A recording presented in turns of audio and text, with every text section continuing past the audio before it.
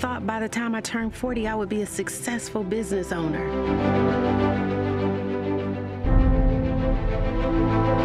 My business, it's a matter of me just keeping up. It's gone off the roof. The things that I've accomplished in the last eight months since you've been in my life, I hadn't been able to accomplish in the past two years. You see, Kay, in business, advertising is not about just spending your money. Someone can spend millions of dollars advertising to the wrong audience.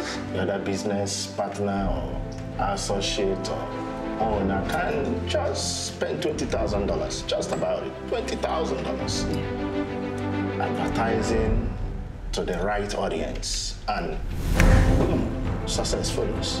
Honestly, I thought that you told me you were doing well just so that I'd be okay with you, you know? Making me shy right I was being perfectly honest, I can't. I'm just not ready for this. Look, I want to give you a special thanks for helping Kayla to grow her business. Oh, that's nothing, ma'am. See, Ecclesiastes 3 verse 11 says that God makes all things beautiful in His time. And coming together has made our lives more beautiful and meaningful. Dear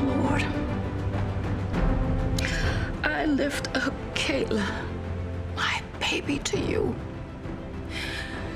And I ask, Lord God, that you would bring her wisdom and discernment and peace and these things I pray.